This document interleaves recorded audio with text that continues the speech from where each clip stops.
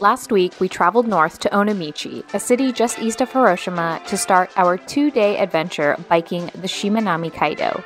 This is a famous highway across the Seto Inland Sea and connects Onomichi to Imabari.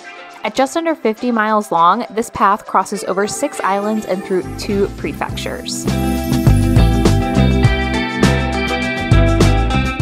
The path has a dedicated cycling route, so it really is as simple as following the blue line along the road.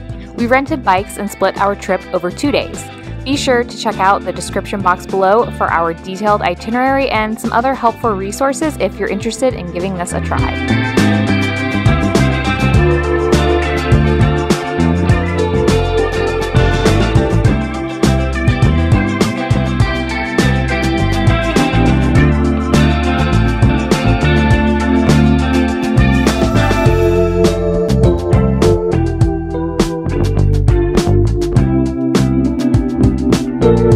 Thank you.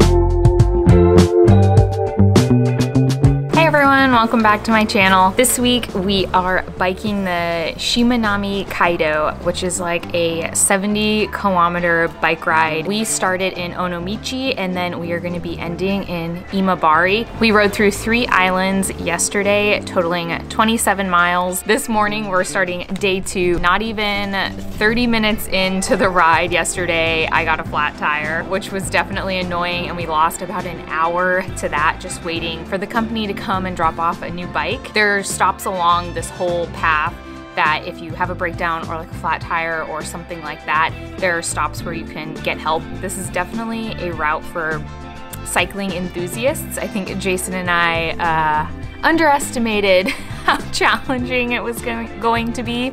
We've had a lot of friends do this and they actually all did the full 70 kilometers in a day. So you know who you are, props to you guys. Honestly, I think a lot of it just has to do with how bad these bikes are. Um, mine will just randomly start gear shifting on its own. Yesterday, we saw a bunch of beautiful sights. Honestly, it looks a lot like Sasebo over here, so it's gorgeous. Tons of beautiful bridges and the waterway is gorgeous. We're definitely on the road with cars more than I thought we would be. Going on the bridges and things, you're on your own path, so that's really nice. We stayed right across the street here at the iLink Hotel last night, and I highly recommend this place. It is super cute. It's more of a hostel kind of hotel environment, so we didn't have an actual door to the room we were in. We just had a shade. So we are getting ready to start day two now. We have, I think, maybe like 20 miles to go today and we will end in Imabari where we are staying overnight and then tomorrow will just be a travel day all the way back to Sasebo. And we took the Shinkansen up here, which was really fun. Not the most um, budget friendly way to get here though. Flying is always going to be cheaper, but the Shinkansen is just such a nice experience. So if you haven't done one yet, definitely worth investing the money and doing that. Let's get started. First things first, we're gonna try and change these bikes out to electric. So fingers crossed we can do that. Música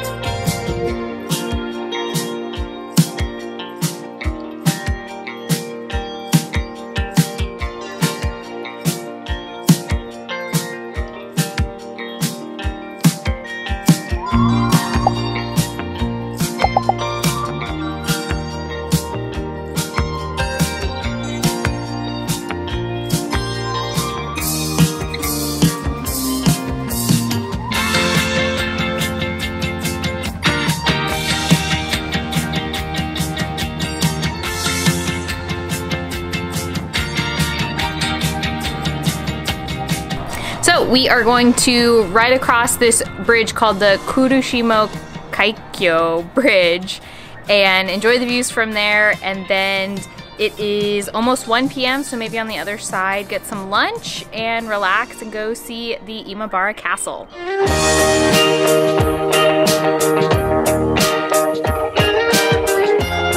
Kurushima Kaikyo Bridge connects the island of Oshima to the main part of Shikoku, and at the time it was built in 1999, it was the world's largest suspension bridge. This was hands down the highlight of our trip. It was such a sense of accomplishment crossing over this two and a half mile long bridge to end our adventure on the Shimanami Kaido.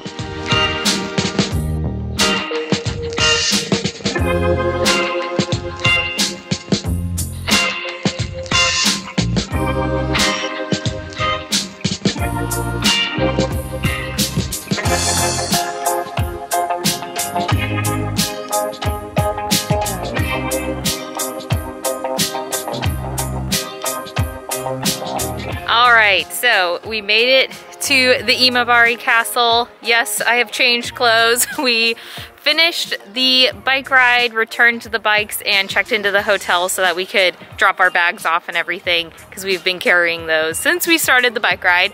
And now we are finishing up at the Imabari Castle, which is actually super cute and gorgeous. Um, it's a little overcast today, but we walked over here. I think it's closed um, due to COVID, so we can't go in it and go to the museum, but we're just gonna walk around the grounds and enjoy ourselves. And yeah, we did it! We biked the 70 some kilometers. I can't remember what the total ended up being, but it was like, I think 48 miles around there. Um, and of course, we broke it into two days. We are going to walk around this cute little castle and then head back to the hotel and relax. So I hope you guys enjoyed this video. If you did, be sure to give it a thumbs up and don't forget to subscribe.